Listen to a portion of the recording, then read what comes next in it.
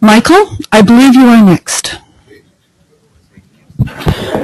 I guess I'm on. Okay, hi, good morning everyone. So, hi, and uh, this is the day for you to express yourself before the whole group and God as well. So, you know, if you have anything at all in your heart that you want to say, the bookstore is the place to say it right out in front. I've got a pitch pipe in one hand and a script in the other hand. Um, I'm now going to talk about how to become intuitive. Oh my God. Okay. I think there's a lot of presumption in, in this uh, little title. It seems that the solar angel over the years, over the many ages, knows how to bring about that higher polarization of the human being step by step, which automatically eventually leads to the intuitive faculty and to a repolarization on the uh, plane of intuition. You know, once we start to get those love petals of the egoic lotus open and and once the, um, the initiations begin to occur and the synthesis petals open and the antahkarana is built, it will all happen naturally. But of course, we're in a forcing process at the moment. Uh, we do like to force the issue. DK tells us that we can and should, so why not try? Um, there are certain rays and signs which um, are naturally intuitive. Once a certain point of evolution is reached, you know, if you have a good Jupiterian sign or Sag or Pisces or Gemini, strongly Mercury, the intuition may come in. So maybe we should just wait till we're born with one of those signs and, you know, just forget it. On the other hand, we are uh, reaching a point um, of that sort of planar uh, interface uh, when the Buddhic principle is about to approach uh, humanity far more closely with the return of the coming one, the Christ, the Lord Maitreya, imminent first initiation of humanity, of a portion of humanity which is uh, significant uh, to leaven the mass of humanity. And, and so with this coming of the Buddhic principle, which we can expect, I think, uh, more strongly in the next hundred years, and especially when uh, the fourth ray is so very uh, strongly coming in in its monadic aspect, the intuition is going to be uh, the cutting edge for so many of us. We might as well learn, you know, how to approach it. Of course, many of us think we may be intuitive when we may simply be psychic, and DK does draw a big distinction between that. Well, we can begin with that one of those definitions of the intuition which has been floating around for a while over the last few days and deserves to be reckoned with. And it's from Glamour World Problem. And I won't read the whole thing, it's just a little bit. And, then you see how high it goes, as Lawson was saying. It's such a, it's, it's such is, which is where our spiritual development is really occurring, it can be considered intuition. You know, from the Buddhic, Atmic, Monadic, and Egoic planes, all of that can be considered intuition, but more specifically, uh, immediately for us at this time, what comes from the Buddhic plane. Intuition is a comprehensive grip, uh, grip of the principle of universality. A comprehensive grip of the principle of universality, and when it is functioning, there is momentarily, at least, a complete loss of the sense of separateness. That's the great heresy. He tells us the heresy of separateness is the great heresy, and intuition dissipates that. At its highest point, it is known as that universal love, which has no relation to sentiment or to the affectional reaction, but is predominantly in the nature of an identification with all beings. That's an amazing sentence. Uh, in the uh, age of Aquarius, uh, Aquarius is the sign of universality, and we can expect when Venus finally comes in after another 1460 plus 100, 1560 years, then we will have that uh, age of universal love and of brotherhood. Uh, then is true compassion known, then does criticism become impossible, and then only is the divine germ, monad, seen as latent in all forms. So that's uh, a very pithy definition of intuition from, from DK's uh, Glamour World Problem right around page four. The factors, three factors involved in intuition are light, understanding, and illumination. And he goes into a wonderful description of that. So there are ways that we can access and promote this energy. And I have um, a few ideas about how we can promote the um, development of the intuition in our individual and group nature. The first will be an attitude of trust. That which we already seek is within us, and doubt, as Master Morya tells us when he draws the picture of the saint praying, but the little black serpent is at its heel, you know, doubt can be a poison. It's a poison when you try to uh, access your first impressions. First impressions are very important. Meditation 5 in Discipleship in the New Age Volume 2 is all about getting that first intuitive impression. So later, uh, after deception, there is time for discriminative analysis. But doubt will block those first impressions. And even if a lot of stuff comes in, you can sort through it later. Let the stuff come in. Okay, trust, that's the first. Second uh, a method uh, to, to employ the open heart. Uh, through concentration upon the heart center uh, between the shoulder blades of the lower part, uh, the heart center, DK tells us, is the organ of Buddhi, just the way the head center is the organ of Atma, and uh, I infer that the center at the top of the head, which is the most magnificent 12-petaled lotus, which reflects the egoic lotus and probably the monad too, that, I figure, is the organ of the monad. So the heart is the organ of Buddhi, and the heart and the head center, the organ of the monad, from which even higher intuition can be accessed. Let us learn how to, when we're, when we're attempting to be intuitive or to tune in, let us learn to keep the heart active, and if we can, the heart and the head. So when we apply the intuition, we can never ignore that particular alignment. Otherwise, uh, much that will be invoked may simply come from the solar plexus or from any circular thoughts within the mind. You know, uh, there are many first thoughts which have to be rejected by a point of tension, which acts as a deflecting wall. So that's a special technique. If your intensity is sufficiently intense, you will deflect the ordinary. That's really important. Okay, uh, with the heart center and the heart and the head at least imaginatively activated, because energy does follow thought, and you want to be able to activate these chakras within yourself by concentrating upon them, uh, it will be possible to begin grasping wholes, W-H-O-L-E-S, wholeness. So, um, and, and, and intuition, as we have just read, is all about wholeness and the apprehension of wholeness and the apprehension of non-separateness. So the, the sun, let us say, it rules the heart center uh, exoterically, but in a way certainly esoterically in a deeper way. The sun rules the heart center, we learn in esoteric astrology. And the sun embraces the entire solar system, so it's certainly an inclusive holistic organ. The great planet Jupiter is found esoterically within the heart center, second in scope only to the sun, virtually a star in itself. So Jupiter is the great planet of whole making. See, the visualization of planets, stars, and certainly plan- uh, certain planetary gifts on the correct note can be a method of induction of the flow of intuition. From a higher perspective, Neptune rules the heart center. We oftentimes stick it in the solar plexus, but that's just its lower aspect. It's a secondary monad, and in the hearts of great people and initiates and masters, Neptune is strongly involved with the heart and the heart and the head. Um, with this monadist aspect. Uranus is a planet of timelessness, wholeness, and simultaneous apprehension.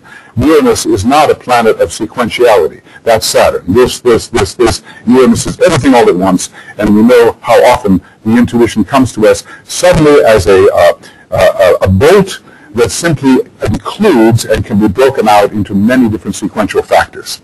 So let us use these centers, especially the heart center and the heart within the head, and to a certain extent the head center as a whole, uh, under these particular planets that I've mentioned, and I, I, didn't mention Mercury, of course, and all of that. The visualization of the planets is very important. You begin to come on rapport with the Vedic streams that are connected with these planets. You begin to attune with them with, uh, through color and sound, and on the threads of these planetary streams come many fine ideas and new energies. Mercury will always transmit from one place to another, and we want to be the receiver.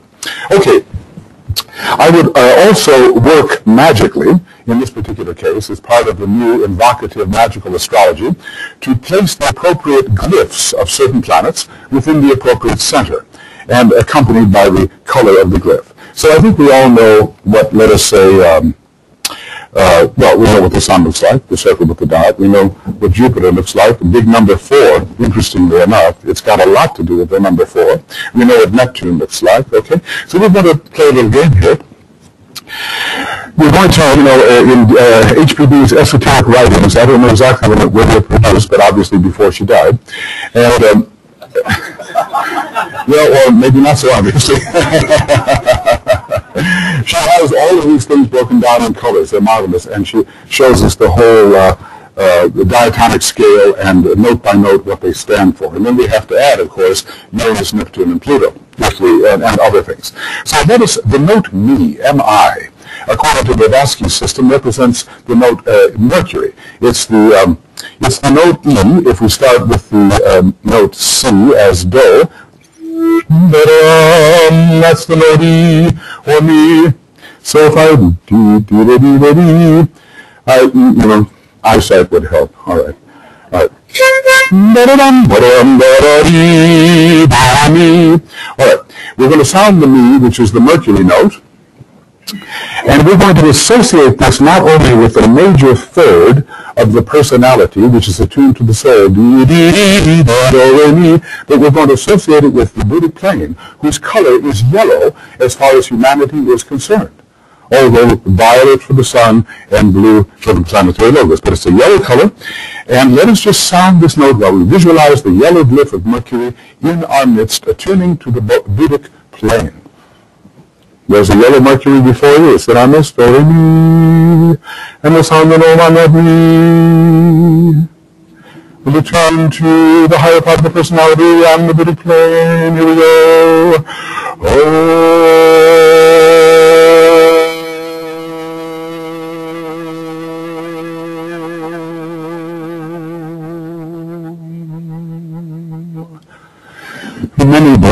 Colored ideas can come in on that stream of yellow, which is not only mental, but is related to the color of harmony. So you have to learn how to use color and sound in the appropriate way. We don't necessarily have the, the point from which to stand. You know, one of the great Greek mathematicians said, give me a point on which to stand and I can move the world. Was it Archimedes? Someone like that. You know, he just needed a good fulcrum and, you know, but um, we don't have that yet. We don't know it is the true A, a true C. We don't know the truth of the matter because there are many spans and many different colors in these things. But one day we will have one true note, and from one true note we can derive many others. Okay, let us sound the note sol. Sounds a lot like soul, doesn't it? Re, mi, fa, sol. That's a G, okay? And that is the note of the second ray except if you start an A, then it's not the seventh ray, but now we'll call it the second ray note. Okay. And we'll start sound a soul, and we'll visualize a big Jupiter in royal blue in our midst, as if we can call down the Jupiter, Jupiterian stream of energy. Um, so we will sing Om on the soul note, S-O-L, which is the sun and Jupiter as well. Mm. If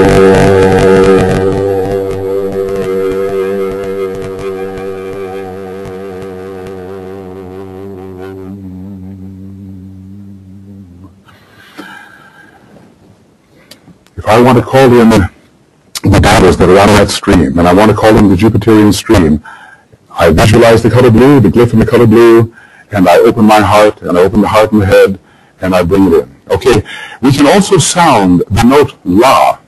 Uh, now La is very interesting because it, it, it, La is normally an A, but I have a feeling, and I, you know, I can't say this for sure, but Neptune and, and Venus are very close together. You know, Neptune is the higher octave of Venus. So I sometimes like to think of Neptune as La flat, which is really A flat if we begin on C.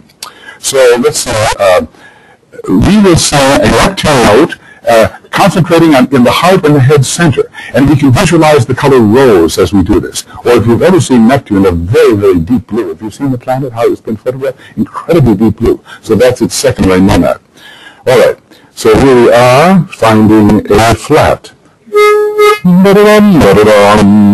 Here's a nice rosy Neptune in our midst. The heart of the head center is open. We are going cosmic now. Hmm.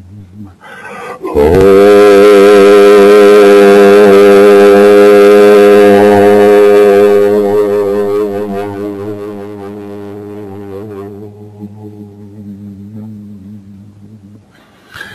See, these are, these are planets connected with the heart and the heart and the head apparatus and the colors that can be connected. And we're going to experiment with this to see what kind of flows we can induce in ourselves. Whenever I personally think of the color rose, something immediately happens to me. I don't like pink, but when I think about rose, you know, I feel it immediately. I mean, immediately think I have the sixth ray. Okay, here we go. These are just a few possible associations. Okay. So uh, this can trigger intuitive alignment. Now, also, some people work with uh, with uh, uh pendulums, with uh, talismans. Those little things um, mean something personally, personally to you. Uh, it is said that Alfred Lord Tennyson used to repeat his name, just his name, and he would immediately go into a soul state. It was his particular trigger. If you have some kind of trigger, if it's a you know, your intuition is always working somehow. And if it's the pendulum, if it's some other apparatus, whatever it is, it's personal to you. Master said, don't criticize the yogi sitting on the water just because he's holding a feather. For him, the feather meant something, and it made it possible for him to levitate on the water. So if, if something works for you, that's good. Okay. I would also say, when did you press that thing? We've now have six minutes, you know. All right. Okay, I, I, am fine. You know, this is not a long talk. Not a talk at all, really. Uh, I, would, I would also suggest what I would call the initial suspension of the factor of analysis.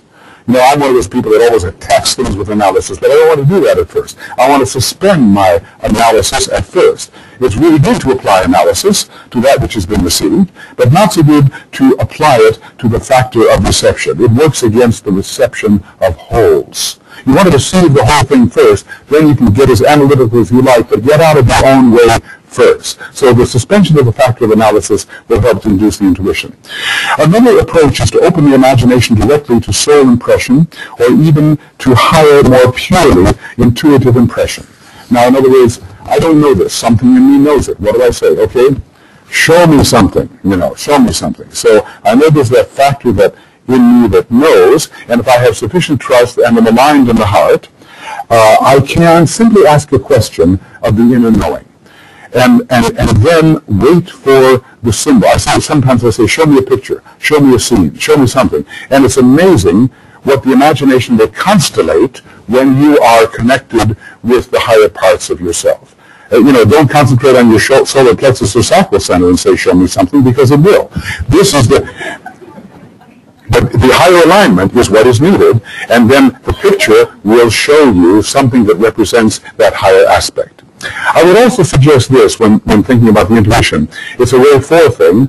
I'm remembering how Master R, or rather, when, when he called him Francis Bacon at that time, described his own mind, which he said had a capacity to see both similarities and differences in equal measure. Okay, but I would suggest trying to look first for things in common rather than disparities. So look for the links. Look for things that are related to each other and not for the differences. And later you can attack the differences. Use Ray 4 first and Ray 5 later. Okay, uh, so yes, I, I said that. Okay. Okay, uh, yes. And then attempt to perceive things uh, as a piece rather than in pieces. As of a piece rather than in pieces. What we're looking for is the is the factor of analysis within the cedar, within the field of synthesis. So we're looking first for the synthesis, and then we can analyze within that field of synthesis as long as we never break the synthesis, because if you take everything apart in little pieces, you'll never get the wholeness of it. So hold the whole while taking things apart, but get the whole first. Okay. Now, take time, take time Michael, take time. Take time when encountering new contents of consciousness, because everything perceivable is a content of consciousness. So DK advised us, in this case, study your client for five hours if you're going to work on esoteric healing. Five hours before you do a thing. Horoscope, attunement, meditation, whatever. Number five sounds significant, doesn't it? Probably relates to the solar angels and so forth. Study your client for five hours before you even approach. So do take time when you want to go deeply into something so that impressions of the true nature will seep in. You know, intuition is not always that amazing, sudden, thunderous revelation that comes in an instant. Sometimes it's the seeping quality which we need, and we have to be patient. Patience is very important. Okay. I'm, I'm almost finished here. Okay, um, use the planet Venus, which is not necessarily one of the intuitive planets, except as Venus itself, in its own development, is working on the Buddhic level and has high Buddhic achievement connected with it. So use the planet Venus in the color, I like to think of its esoteric color, which is indigo, connected with the esoteric color of the fifth ray. You can do rose, you can do uh, uh, orange, but I like to think of that indigo Venus producing the field of unity.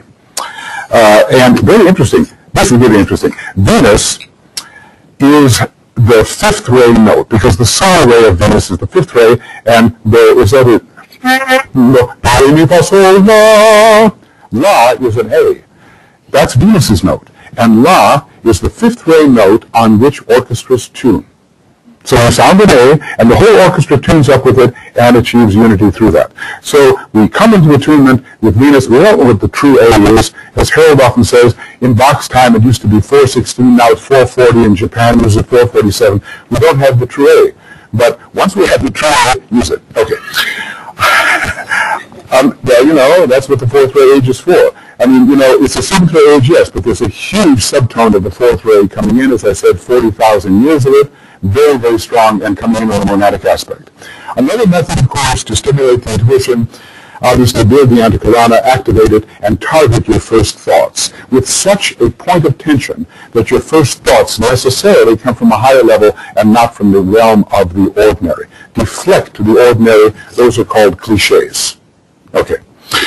Another approach, now this is probably the deepest approach of all, reject all identifications except identification with and as the Spirit. Now that's a huge discipline.